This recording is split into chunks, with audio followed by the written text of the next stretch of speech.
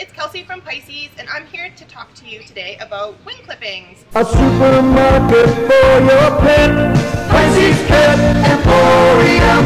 Pisces Pet Emporium. Wing clipping is basically limiting the flight of your companion bird. So we typically only clip the wings of birds that come out of their cage to spend time with you. So small parrots, things like that. Not finches and canaries or anything that needs free flight in the cage. So pros to clipping your bird is that they cannot escape.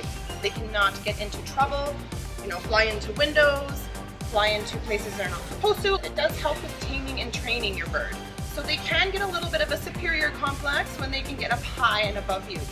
The cons to flight clipping your bird is basically they can no longer fly as well as they would completely unclipped.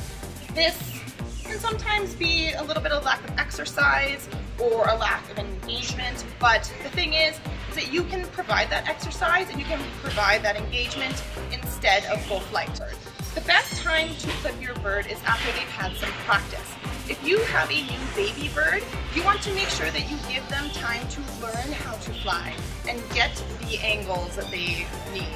So how to turn, how to stop, how to go up, how to go down, they should be working those muscles and they should be engaging their brain and how to fly. So remember, clipping a bird is not permanent. After they molt, those feathers will come back. So it's something that you can either do seasonally, if you just want to do it in the summer when the doors are open more and the windows are open more, and then you can, in the winter, let them have some practice flying. How we clip their wings is that we take their only their primary flight feathers. We typically take anywhere between four to eight primary feathers. It depends on the species and it depends on the bird. It is actually very important to make sure you know your bird and how well they fly. We always do both sides as well. You should never do one side. That is kind of a, another old way of doing it that just makes them uneven and so it's not safe for the bird. The number of wing feathers that you clip also depends on the species. So light, very aerodynamic birds like this, budgies, cockatiels, lovebirds even, they can be really strong flyers, do require that higher number of clippings. So they need typically anywhere between six, sometimes even eight feathers clipped on each side.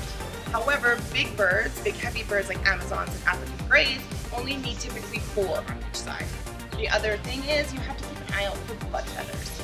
Blood feathers are the new feather that's coming in. So they are a dark tube-like feather that cannot be clipped. You need to typically leave a guard feather in order to protect that feather from breaking. Once again, thanks for tuning in. I'm Kelsey from Pisces, and check us out on YouTube, Facebook, Instagram, and if you ever want to get your bird clipped by the professionals, just call and book us a quick. A supermarket for your pet.